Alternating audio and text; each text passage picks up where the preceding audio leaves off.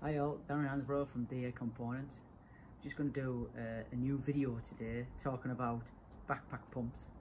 Uh, most backpacks come with a normal water pump which is great if you're just doing window cleaning and uh, yeah everything's fantastic but if you're moving more towards soft washing chemicals nine times out of ten the pumps are not chemically designed for the chemicals so I'm going to do uh, the video how to fit the new chemical pump with the Tonks seals and we're going to talk about what tools is needed to do the said job so these are the tools that I think you need what you'll probably see on the table is I've already took the, the base off with the six screws and the longest screw is holds the, the cap on for the battery. I'm also going to change the battery to a new one. Uh, I'll put links in the description where I've got the battery from, but uh, we'll talk about that later on. And then I've got some wire cutters to cut the wires uh, off the pump. And we've got some little wire connectors to join the new pump to the original uh, wires in the backpack. We've got some new stainless steel Jubilee clips. Obviously flat-headed screwdriver.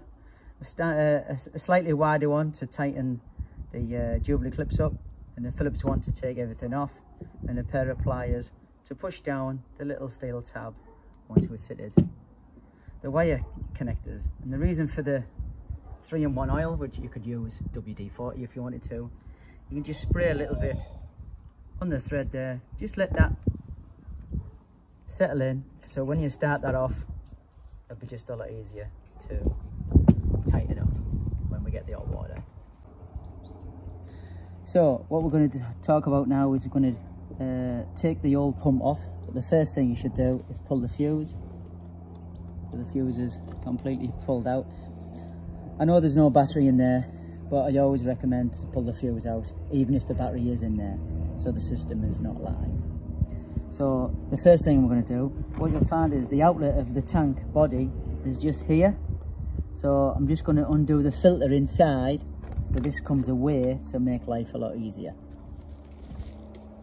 So inside the backpack, pull the filter off, just undo it, just threads off.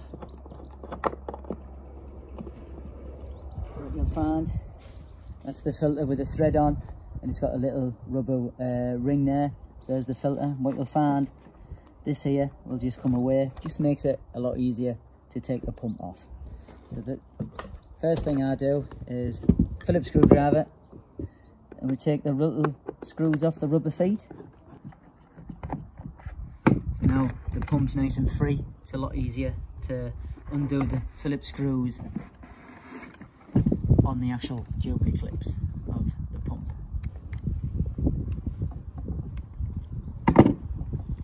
Down, get to the other one. this is where I always think that it's just best to change the Jubilee clips to proper stainless steel ones. It's just more robust and they're just a hell of a lot better. So that's the reason why I always recommend changing the Jubilee clips. So the Jubilee clips are off. The next thing I want to do is the cables actually on the pump. I always cut them close enough to the pump the reason being is you've got a length of cable to play with when we fit the new pump. So we always recommend to cut each of them one by one. So then the cables are completely out of the way. So now we're just going to take the inlet hose off. I'm going to try anyway. So now we take, we're down to taking this hose, which is the inlet hose from the backpack into the pump but I don't really want to cut it because it just looks okay so I'm just going to pour some hot water directly onto it from the kettle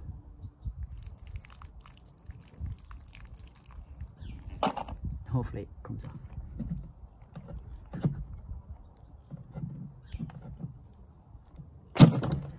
so now we've got the inlet hose we can do away with that jubilee clip what you will find is this jubilee clip here I know it's all rusty, but I think it's down to personal preference. But uh, on this occasion, I'm just going to leave that one on because it looks okay. So there's the inlet one done.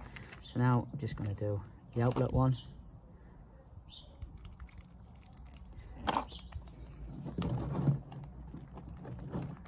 So now it's completely off.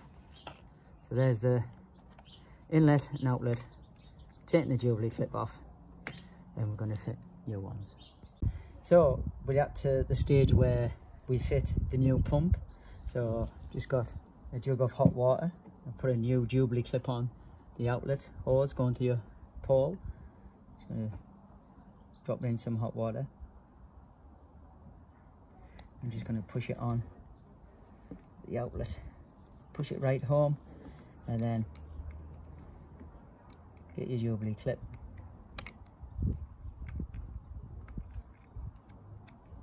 Get your flatheaded screwdriver. Start tightening it up. So that's the outlet one going to your polos and then just gonna fit the inlet hose back on like so. And then flatheaded screwdriver.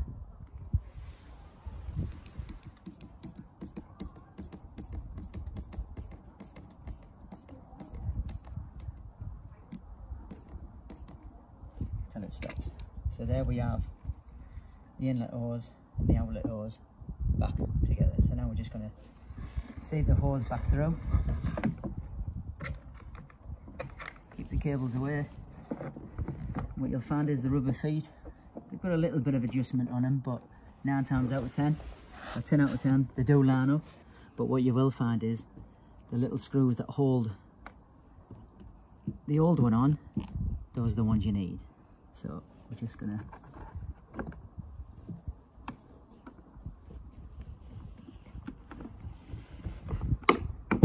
like for like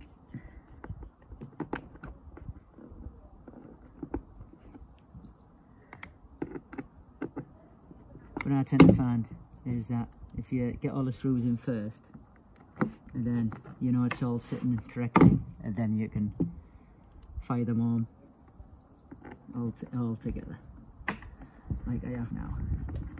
So what you see now is the pump actually fitted to the backpack. Just going to put this little rubber grommet back together. Basically all you need to do is just feed it round just so oh, it all sits nice and looks well. So what you will find is when you get this backpack pump I'm going to talk about the flow direction with the arrow just on the face body here, which is the arrow going to your polos. And when you buy this from DA Components, it actually is the correct way, so you don't have to worry about flow directions. Okay, so now we're just going to fit the little filter on the inside of the backpack, which threads to the outlet. This is where I think you need super long arms. It can be a bit tricky this one so once you actually get it lined up you can thread the filter onto it. You can actually feel the the outlet hose going to the pump getting tighter and tighter. Just try not to over tighten it. Just needs to be hand tight because it's got a little rubber washer there to stop the leaks. So now we have it all fitted and now we're just going to fit the wire connectors two little wire connectors so what you'll find is the red one that we cut off the old pump just goes to the red of the new one. What you'll find is this little wire connector, you push one in and it stops. Then the other one just goes through the other side. And what I tend to do is just so it sticks out the other end. But make sure that this one's just holding together. Get your little pliers and the little steel tab. Just push it down. Just really give it a good push with both hands until it's flush to the connection. Push the lever over. That's actually connected now. And we're just going to fit the black one again. Just make sure it goes up to there. To the, to the stop, so you know there's enough in there. And you get the green one, which is your negative again. Just slide it out. And like I said before, uh, I like it just so it sticks out a little bit further so then you've got the cable when it connects in there with the pliers what you what I will bear in mind when you buy the pump, it does come with these connectors, these quick release connections from DA Components. You, two, you get two or three with the pump. So I'm just going to push the push the steel tab down now with a pair of pliers. So just make sure the black one's uh, fully pushed into the connection and then just push down with the pliers. So it's made the connection like so. Just before you pull the, the lever over the top, just give them a little pull to see if everything's okay and then just slide that over. So then we've made the connection for the the pump now and that's the reason why I like to leave the cables long enough and short enough to the pump so you've got enough cable to play with in case you need to change it again. So what we're going to do now is we're just going to fit the battery in, in this uh, space here and then switch everything back on. So the batteries, you can get them from the suppliers, but if you're stuck, I got this from Toolstation.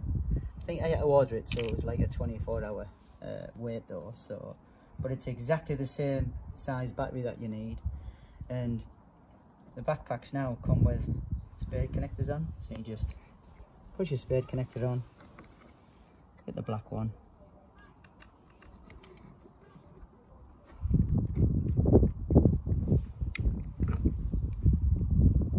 same again, just push that back on.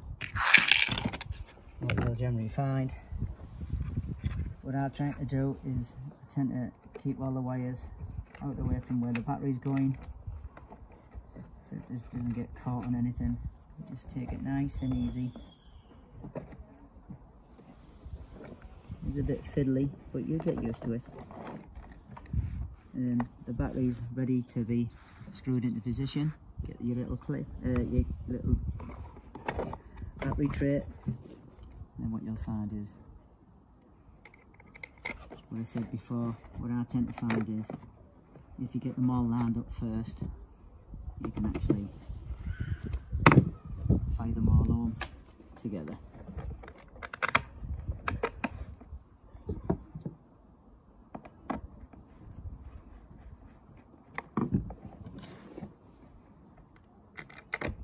Use a little bit of movement on this battery tray as well so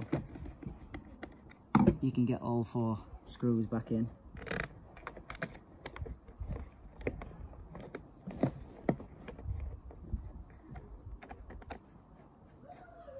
Once you get all four in same again.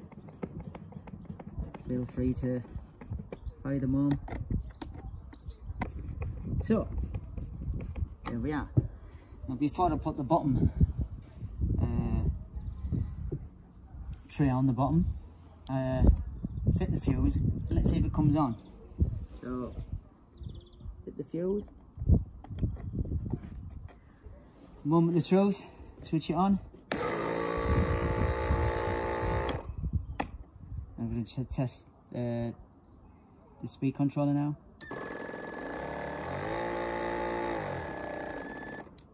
So there we are, backpack pump, chemical backpack pump with the Viton seals fitted to a backpack.